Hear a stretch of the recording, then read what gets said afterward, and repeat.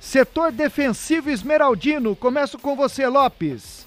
As notas para a zaga do Verdão. O goleiro Marcelo Rangel, a rigor, fez duas defesas na partida. Foi bem, nota 7 para ele. O Shailon foi o cara do jogo, foi o melhor em campo, a fera, nota 8,5 para o Shailon.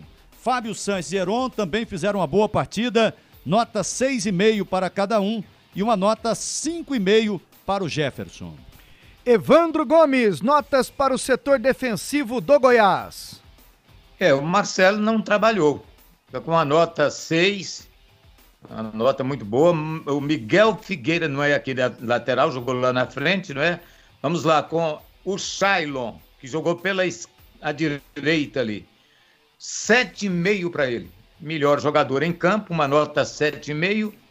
Fábio Sanches e Heron, nota 6 para cada um e Jefferson, uma nota 5,5, Pasqueto. Vocês ouviram as notas do Lopes e do Evandro Gomes para a zaga esmeraldina, setor defensivo ali. Agora vamos para o meio-campo, Lopes. O Breno, alguém precisa chegar nele e falar: jogue de volante quando é para jogar de volante. Quando for ser meia, você vai ser meia, vai ser escalado como meia. Jogue de volante. Então, um jogador que precipita, quase foi expulso, uma nota 6 para o Breno. O Ariel Cabral entrou no lugar dele já aos 46, fica sem nota. O Henrique, grata surpresa esse Henrique, hein? Nota 7 para ele, fez uma grande partida, o melhor jogador do meio-campo. O Miguel Figueira, pelo primeiro tempo, fez um belo primeiro tempo, uma bola na trave, mas depois caiu de produção. Fica com a nota 6,5. E o Iago entrou aos 3 no lugar dele, cumpriu o papel bem dele ali pela direita, fica com a nota 5. E aí, Evandro Gomes, o meio-campo do Goiás. Henrique, nota 6,5. Esse Henrique, ele é neto do Paulo Henrique, né? Um lateral esquerdo que jogou no Flamengo nos tempos de Carlinhos e Nelsinho Silva, anos 60, 70, sei lá por aí. Então, é bom jogador, 6,5 para ele. Figueira, hoje o Figueira fazendo um gol para ficar na história da Serrinha um lance lindo, lance mais bonito do jogo, indiscutivelmente, que ele pegou uma bola no ar, lá quase que na risca da pequena área, até fora talvez da pequena área, deu um chute para trás, tipo uma, não sei nem como é que chama aquilo, chaleira, leira, sei lá o quê. Ele pegou a bola de costas assim, meteu ela no travessão. Grande jogada, a jogada mais linda da partida. Vai uma nota 7 para o Figueira. E o outro jogador do meio campo, o Breno, fica com uma nota 6,5. Agora vamos pro ataque do Goiás. José Carlos Lopes. Ataque, hein? Vinícius fez assistência para o gol do Moura. O Moura fez mais um gol na carreira com a camisa do Goiás. O Fernandão fez gol. Então, um ataque poderoso do Verdão. Vinícius é, jogou uma partida regular, uma nota 6,5 para ele. Uma nota 6 para o Vinícius uma nota 6,5 para o Fernandão e nota 6,5 também para o Rafael Moura. Entrar no lugar deles. O Daniel no lugar do Vinícius já aos 37 fica sem nota. O Índio entrou é, aos 27 do segundo tempo no lugar do Fernandão, fica com a nota 5. O Bádio entrou aos 46 no lugar do Rafael Moura, fica sem nota. O Bádio, grande operário, tá devendo, hein, operáriozinho. E fica sem nota então, viu, Pasqueto? Evandro Gomes. E o ataque do Goiás, o Lopes. Ainda aqui do, do, do operáriozinho. Vinícius, nota 6 para ele. Belo cruzamento para o gol do Rafael Moura. Rafael Moura, nota 7. Fez o gol, cumpriu o papel dele, abriu o caminho para a vitória. Fernandão, mais um, de cabeça, nota 7. Naqueles tempos dos jornais, né? E aqueles jornais impressos, você pegava e naturalmente já, de, já sabia mais ou menos a manchete do outro dia. Goiás usa a cabeça para vencer o Botafogo. Era mais ou menos isso. Então, sete para Fernandão, sete para o Rafael Mouro. Jogadores que entraram: o Iago Mendonça, cinco. Ariel Cabral, sem nota. Daniel de Pauli, cinco.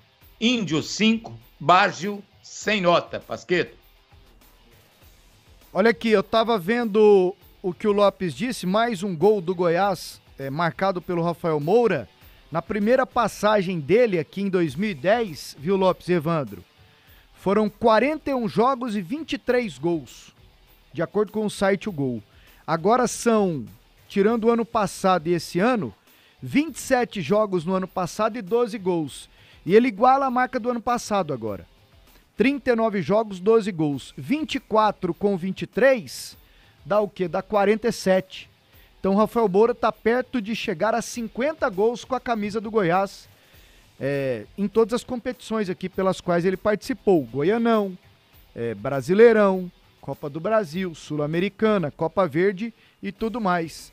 São 47 gols com a camisa do Goiás do Rafael Moura, viu, Evandro?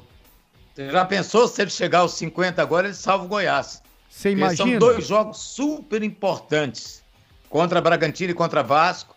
Eu acredito que, inevitavelmente, o Goiás vai para o Rio de Janeiro para um mano a mano com o Vasco. É preciso ir com uma vantagem. Ir com uma vantagem. A de jogar, pelo menos, com empate. Agora as notas aqui para o Glauber Ramos e para o Augusto. Vamos lá, Lopes. Então vamos lá, eu gostei da dupla, eu questionei a escalação e estou sendo justo, porque eu falei que deveria usar o mesmo esquema com três zagueiros três jogadores no meio campo e só dois atacantes. Eles colocaram dois zagueiros inicialmente e colocaram três atacantes. Então tenho que respeitar é, a escolha, a decisão tomada pela dupla Augusto e Glauber. Então uma nota boa para eles, uma nota 7,5. Nota para a dupla de técnicos do Goiás, Augusto e Glauber, Glauber Ramos, Evandro Gomes. Fizeram um bom trabalho, ganharam a partida, mexeram quando deveriam mexer, nota 7 para os dois. E a arbitragem do companheiro mineiro, o Felipe Fernandes Lima. Foi tranquilo, Evandro Gomes? É, ele precisou do VAR para ser tranquila, né? Porque na entrada do jogador Canu no Fernandão, ele nem deu cartão na hora. Precisa depois o VAR chamar para mostrar para ele a gravidade da entrada, né? A, a, o tanto que a entrada foi violenta. Aí ele expulsou o jogador. O VAR tá lá para isso, tá, mas o cara tá em cima do lance ele já tinha visto que o jogador entrou por cima naquela jogada. E depois ele se atrapalhou todo no cartão do Breno. Eu vou tirar três pontos dele. Dá uma nota 7 e uma nota 9 para os dois auxiliares. E aí, Lopes? O, o, o, o Evandro analisou muito bem. Ele tecnicamente fez uma arbitragem boa, boa arbitragem desse Felipe Fernandes de Lima de Minas Gerais.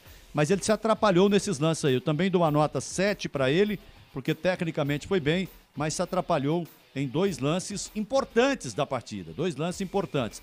Os auxiliares foram bem, né? Não tivemos problemas com os auxiliares. O Felipe Alan Costa de Oliveira e o Ricardo Júnior de Souza. Então, uma nota 9,5 para os dois.